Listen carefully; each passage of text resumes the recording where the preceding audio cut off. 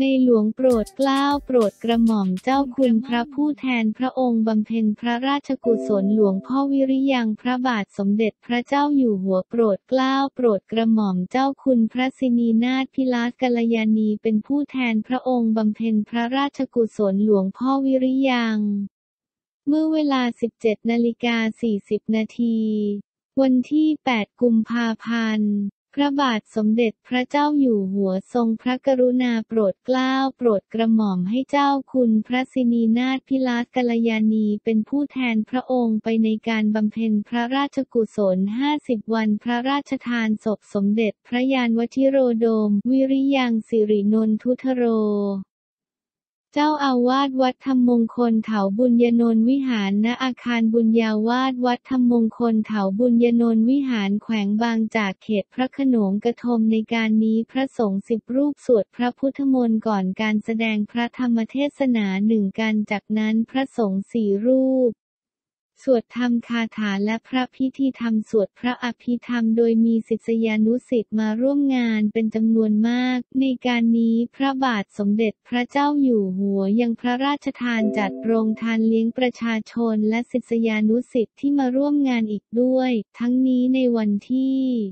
9 กุมภาพันธ์ พระบาทสมเด็จพระเจ้าอยู่หัวทรงพระกรุณาโปรดเกล้าโปรดกระหม่อมผู้แทนพระองค์ไปในการบำเพ็ญพระราชกุศล 50 วัน พระราชทานศพสมเด็จพระยานวชิโรโดม วิริยังสิรินนทุทโร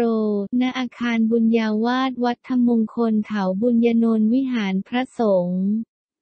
สิบรูปที่สวดพระพุทธมนต์แต่วันก่อนถวายพรพระแล้วรับพระราชทานฉันจากนั้นผู้แทนพระองค์ถวายพระตาหารเพลแด่พระภิกษุสามเณรประมาณ 300 รูป โดยเสด็จพระราชกุศล และพระพิธีสวดพระอภิธรรม โดยเสด็จพระราชกุศล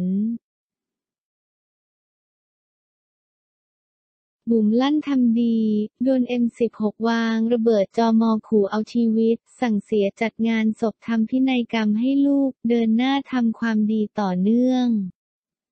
บุ๋มปนัดดาลั่นทำดีจนโดน M16 วางระเบิดจดหมายขู่ฆ่าเอาชีวิตตนเองรับได้สั่งเสียจัดงานศพและทำพินัยกรรมให้ลูกสาว แม้จะขึ้นชื่อว่าเป็นผู้หญิง แต่พิธีกรชื่อดังและประธานองค์กรทำดี บุ๋มปนัดดา วงผู้ดีไม่เคยย่อท้อเดินหน้าทำความดีช่วยเหลือผู้คนที่ได้รับความเดือดร้อนอย่างต่อเนื่อง แม้จะต้องเสี่ยงชีวิตหรือแลกด้วยชีวิตก็ตาม แต่เธอพร้อมกัดฟันสู้ตาย เพื่อเป็นหนึ่งคนที่จัดการคนชั่วให้ได้มากที่สุด ล่าสุดบุ๋มปนัดดาเปิดใจผ่านรายการแซดสตอรี่ว่าเธอทำความดีมาตั้งแต่ประกวดนางสาวไทย แต่เริ่มมาทำองค์กรทำดีเมื่อ 7-8 ปีที่ผ่านมาเพราะ บางเคสไม่สามารถทำงานคนเดียวได้ จึงต้องทำงานการเป็นทีมและบางครั้งต้องประสานงานกับนักข่าวอาชญากรรม รวมถึงกู้ภัยเพื่อช่วยเหลือเรื่องข้อมูล ซึ่งบุ๋มยอมรับว่าที่ผ่านมาช่วยเหลือคนเยอะมากการที่เธอ ช่วยเหลือใครสักคนต้องมีคนที่เสียผลประโยชน์กับสิ่งนั้น มาเกลียดเราเพิ่มขึ้นอีกคนอย่างการช่วยเหลือการค้ามนุษย์ หรือคดีความเกี่ยวกับการข่มขืนโดยที่ผ่านมาเคยไปทำลายซ่อง และมีคนที่เสียผลประโยชน์เดินมาหาบุ๋มแล้วพูดต่อหน้าว่า คุณบุ๋มคุณมาทำไมกลับไปเถอะ ซึ่งบุ๋มตอบว่าไม่กลับอีกทั้งยังเคยโดนเคสหนักถึงขั้นขู่จะเอาชีวิต โดยวางปืน M16 ไว้บนโต๊ะ แล้วบอกว่าอีบุ๋มมึงดูนะ ถ้ามึงยังทำแบบนี้ อยู่กูจะเอามึงให้ตายรวมถึงส่งจดหมายและข้อความบอกว่า อีบุ๋มมึงระวังลูกมึงเอาไว้ให้ดี นอกจากนี้ประมาณกว่า10ปีที่แล้วบุ๋มเคยไปลงโปรเจกต์ของโรงเรียนทางสาม จังหวัดชายแดนภาคใต้ ซึ่งที่นั้นวางระเบิดบุ๋มเป็นประจำ ถึงขนาดทำคาร์บอมบ์ปี 57 โดยทุกครั้งที่บุ๋มขึ้นรถตู้ทหารจะเอาปืน 9 มิลลิเมตรเสียบให้หน้าเบาะให้บุ๋มเพื่อเอาไว้ป้องกันตัว ซึ่งบุ๋มเข้าใจ พราะใจเราไปช่วยตรงนั้นมันก็เลยเกิดเรื่องแบบนี้ขึ้นทำให้บุ๋มต้องคุยกับคนในครอบครัวถึงสิ่งที่เราตั้งใจทำความดี โดยทุกคนในบ้านพูดตรงกันว่าทนไม่ได้ที่จะเห็นผู้หญิงโดนรังแก ส่วนลูกบุ๋มนั้น เธอได้คุยกับลูกสาว น้องอันดามันว่าแม่เตรียมเคลียร์สมบัติทุกอย่างให้แล้ว หนูสามารถเรียนจบเป็นหมออย่างที่หนูต้องการ แต่หนูต้องเข้าใจงานของแม่ดังนั้น หนูต้องดูแลตัวของหนูให้ดี แม่ทำทุกอย่างเพราะ อยากให้ลูกภูมิใจมีแม่คนนี้เป็นแม่ของหนู และหนูต้องระวังตัวเองให้ดี เพราะแม่ต้องทำงานแบบนี้เพื่อต้องการช่วยคน โดยลูกสาวก็เข้าใจและไม่เคยงอแง ซึ่งเมื่อวานนี้เพิ่งนั่งเคลียร์กับลูก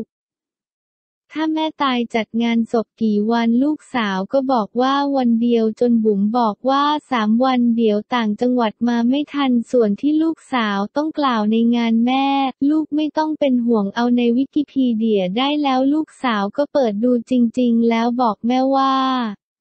มันยาวมากเลยหนูเอาสิริอ่านได้ไหมประวัติแม่เยอะ ช่วยไม่ไหวติ๊กชีโร่พับโครงการเพื่อนช่วยเพื่อนเหตุโควิด รอบนี้ก็โดนช่วยไม่ไหวติ๊กชีโร่พับโครงการเพื่อนช่วยเพื่อนเหตุโควิด รอบนี้ก็โดนช่วงนี้เห็นศิลปินดาราเริ่มต้องเอาของมีค่าออกมาขาย เพื่อพยุงให้รอดจากโควิดรอบนี้ เพราะงานแสดงต่างๆ ถูกยกเลิกหมด ซึ่งก่อนหน้านี้ติ๊กชิโร่เคยทำโครงการช่วยเพื่อนศิลปินที่ตกงาน ผู้สื่อข่าวข่าวสดออนไลน์สอบถามไปทางนักร้องดังว่าครั้งนี้ มีโครงการที่จะช่วยศิลปินที่ตกงานโควิดรอบนี้ไหม ตอนนี้ศิลปินหลายๆ คนต้องเอาเงินเก็บออกมาใช้บ้าง ก็ต้องเอาของที่สะสมออกมาขายแล้ว อย่างตัวเราได้รับผลกระทบจากโควิดรอบนี้ขนาดไหน เมื่อก่อนพี่ติ๊กทำโครงการเพื่อนช่วยเพื่อน ชวนเพื่อนนักดนตรีที่ตกงานปรากฏว่าเราเอาเงินของเราประมาณสองแสนมาช่วยเพื่อนนักดนตรีก็จะช่วยได้หลายวง และก็มีเพื่อนเพื่อนพี่พี่น้องๆเข้ามาช่วยด้วย มันก็เลยช่วยไปได้เรื่อยๆ พอโควิดรอบแรกมันเริ่มสาคนออกไปทำงานกันได้ แต่พอมาโควิดรอบสองรอบนี้หนักมากและที่หนักที่สุดคือรอบรีเจ้าของโครงการ ก็คือพี่ติ๊กโดนผลกระทบเต็มๆ โดยยกเลิกงานทั้งหมดเลยเราก็ต้องช่วยตัวเองก่อนทำอะไรได้ก็ต้องทำไปก่อน ไม่ถึงขั้นว่าต้องเอาเงินสะสมมาใช้ ตอนนี้มันก็ต้องเป็นอย่างนั้น เพราะว่าช่วงนี้มันไม่มีงานอะไร อย่างค่ายเพลงมันกระทบไหม พอสมควรอยู่เพราะเรามีค่าใช้จ่ายเป็นคอส ตอนนี้เขามีการลดคอสเรื่องของค่าโฆษณาที่ไม่จำเป็นออกไป ถ้าจะให้พูดตรงๆรายได้ก็จะอยู่ตาม YouTube ทุกอย่างมีค่าใช้จ่ายทั้งนั้น จะดึงใครมาเป็นแขกมันก็ต้องมีค่าตอบแทนให้เขา จะดึงเพื่อนมาช่วยตลอดก็ไม่ได้ น้องๆศิลปินตอนนี้เป็นอย่างไรบ้าง มีผลกระทบกันมากๆ อยากใครที่คิดจะไปทำธุรกิจเราก็คุยกันว่าจะไปทำอะไรหลายๆ คนก็ไม่เคยทำธุรกิจแต่เขาก็ไปทำโน้นนี้กันขายก๋วยเตี๋ยวทำข้าวคลุกกระปิไปทำขนมน้องๆบางคนที่พี่ติ๊กเคยช่วยไว้เขาก็เลี้ยงไก่ขาย ได้ยินว่าธุรกิจปลาสลิดโดนโกง ไม่ได้ถึงขนาดโดนโกงเพียงแค่ว่ารู้สึกเป็นห่วงคนอื่น และไม่สบายใจเราทำเพจรักสลิดปลาสลิดหอมบางบ่อ ตอนนี้โควิดลบ19ทำอะไรบ้างก็ทำไปเราก็ทำขายปลาสลิดทำเพจรักสลิดแล้วก็มีคนส่งข้อมูลมา ว่าเขาจ่ายค่าปลาสลิดไปแล้ว แต่ทำไมไม่ส่งสินค้าให้คือราคามันก็ไม่แพงโลละ 350 บาท บางทีคนที่โดนพวกมิจฉาชีพแอบอ้าง แต่บางคนอาจจะคิดว่าโดนไม่กี่บาทก็ไม่ได้คิดอะไร แต่ถ้าโดนกันหลายคนมันก็เป็นจำนวนเงินหลายบาท และมันก็ทำให้ธุรกิจเสียหาย ซึ่งกรณีของผมเสียหายเป็นหลายสิบคน พอเราเข้าไปดูก็ปรากฏว่าพวกนี้เป็นแก๊งต้มตุ๋นเกิดมาเพื่อหลอกพอใครเริ่มทำอะไรใหม่ ๆ พวกนี้ก็จะเริ่มเข้าไปแอบอ้างและหลอกลวง ซึ่งพอรวมกันมันก็เป็นเงินมหาศาล เราก็เลยออกมาบอกว่าเพื่อนๆพี่ๆน้องๆระมัดระวังเรื่องแบบนี้การที่จะซื้อขายผ่านทางโซเชียลแบบนี้ กับกรณีนี้ส่วนตัวกระทบเยอะไหม มันไม่ได้กระทบเป็นตัวเงิน แต่มันกระทบในเรื่องของความรู้สึก เพราะเรากำลังทำธุรกิจแล้วมีมิจฉาชีพมาทำแบบนี้ มันทำให้วงการปลาสลิดของเราเสียหาย คนที่เขาไม่รู้เรื่องเขาก็เสียหายด้วย